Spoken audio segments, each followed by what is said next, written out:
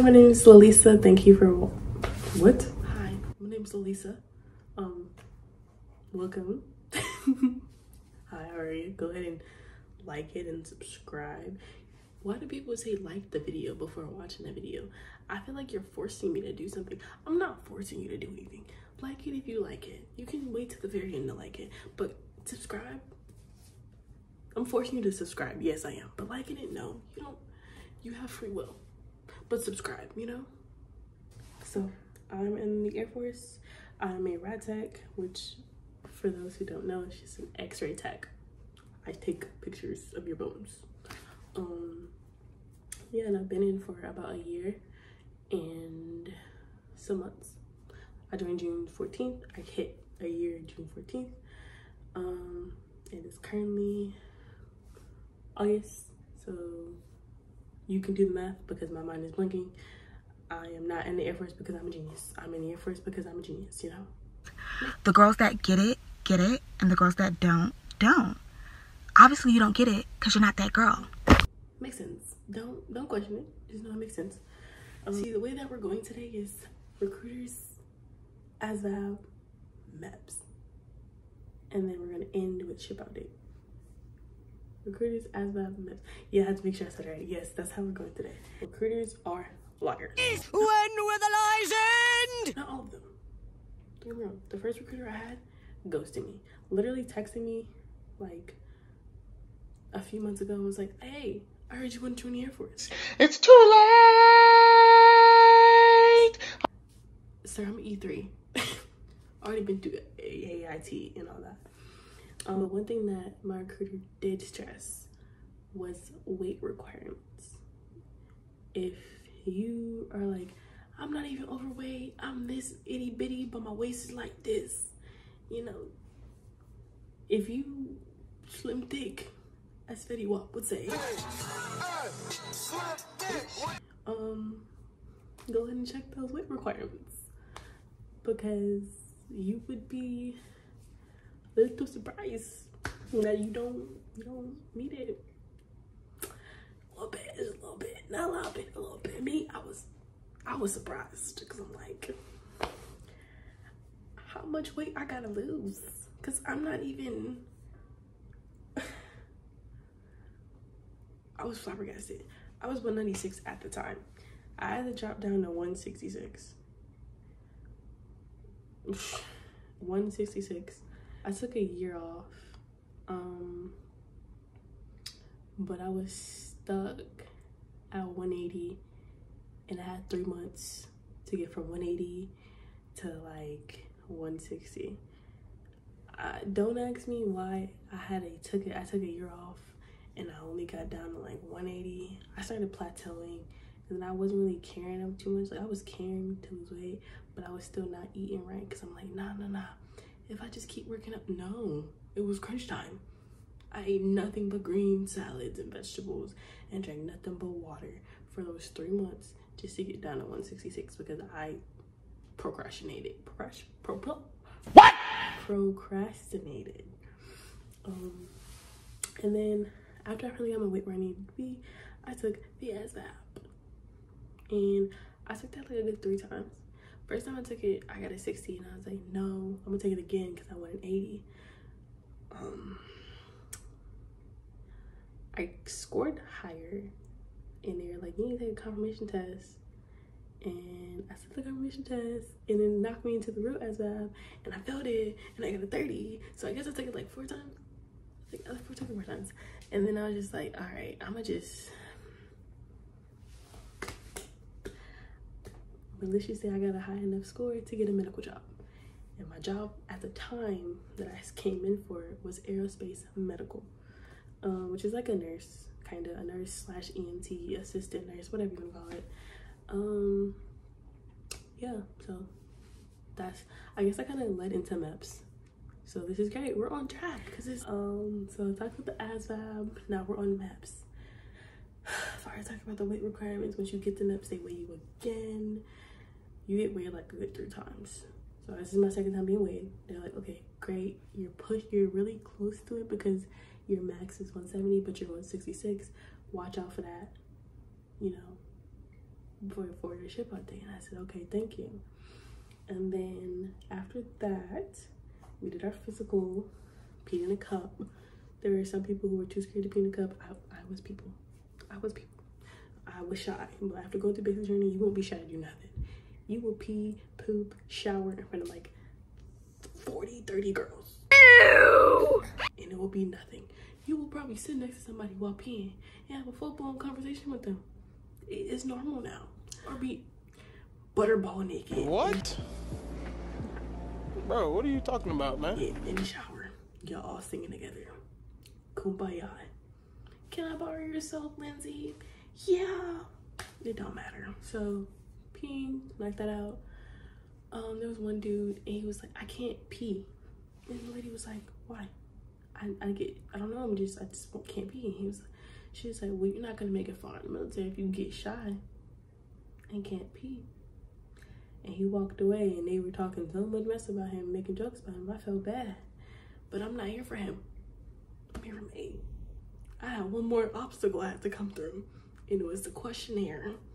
So after you do your little duck walk, you are uh, in the room with this lady, and she's like, "Is there anything we need to know about?" And I'm like, "What do you mean?" She's like, "There's nothing at all, cause you know we're gonna go in your file, we're gonna see it." But yeah, she's like, "We're gonna go in your file, we're gonna go back a year and see all that." And I'm like, "All right, I have an IUD," and she was like, "Okay, cool." when was your last period? And I said, I'm not too sure because the IUD stopped my period. It was like, why did they give you an IUD to stop your period? And I was like, I had to get a blood transfusion. And she was like, oh, we had a conversation.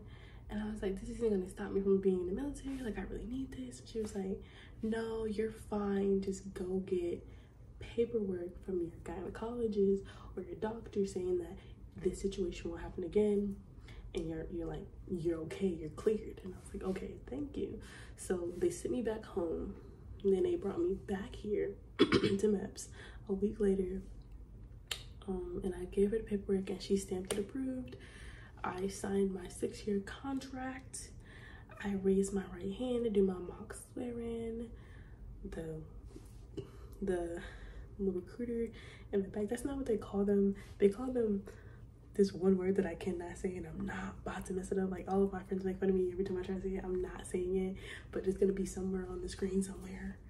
Um, so that's what they call them. They call me to the back and they're like, hey, the job you want isn't available. You may want to do security forces. I said, I'm not doing a police officer job.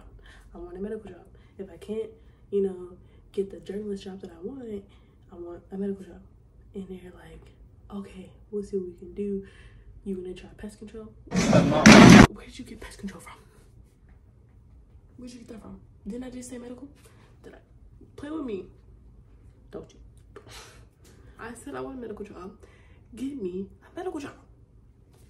So he's like, we'll see what we can do. No promises though.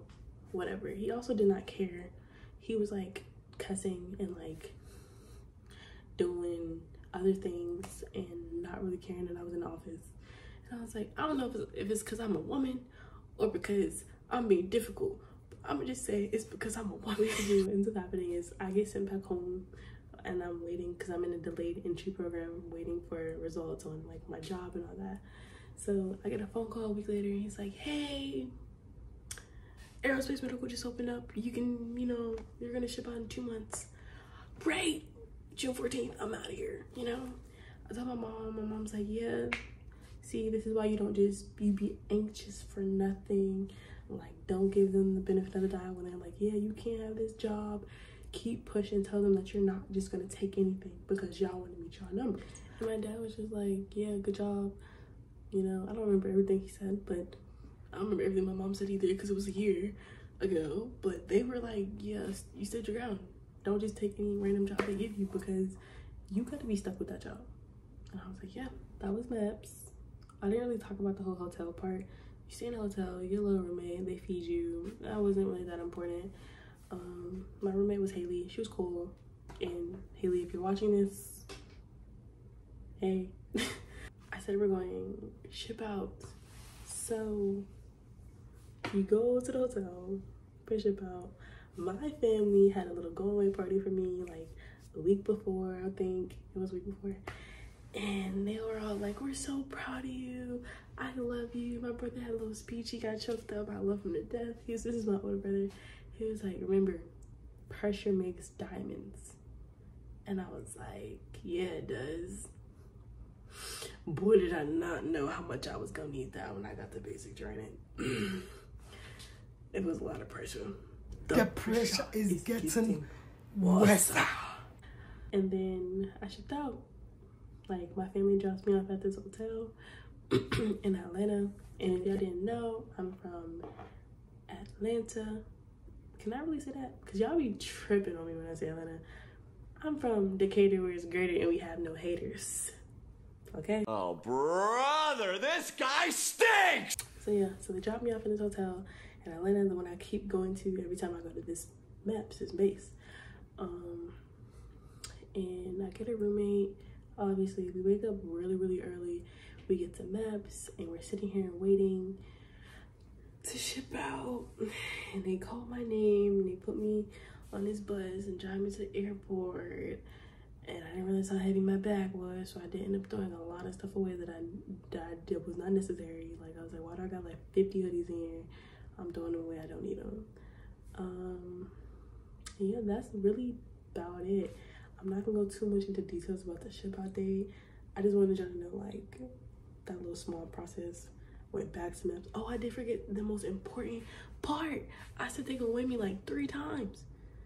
As soon as I got there to ship out, you know what they did? Go ahead and um step on that scale for me. I was like, excuse me? Go ahead and um step on that scale. And I was like, oh. Oh, okay. All right. so I step on the scale. Buddy doesn't even look at the scale. He's like, tell me the number. And I'm like, it's still 166, but like, what if I lie to you right now? What if I lie? You wouldn't even know because you don't care. But I tell him I tell him 166 because integrity first, airman. And he's like, all right, cool, write it down. You can go. And I'm like, you still not gonna look? I, me personally, I would have been like, okay. But he was just like, what's the what's the what's the um um yeah. 166 um all right. I, you, you look miserable. You look miserable. Eat a snicker because you're not yourself when you're hungry. Crazy thing is he literally said that he does not care. He's like this is my last year doing recruiting anyways. I don't care. Well this is my last year doing that word i don't care um but yeah so that was that i'm probably gonna make another video speaking on like you know what i did before i got into the military and what i did after the ship out date because I didn't tell y'all this, but y'all gonna have to bring more than one outfit. Like y'all gonna have to bring probably good two, cause you're gonna be rainbow flight for like a good two days. What is rainbow flight? It's a whole another video. I was a warhawk though, so that's not even important, cause you probably don't know what that is yet. But I, I was a warthog, you know lead follower, get out the way. Warthog, pride. Snore, snore, you know.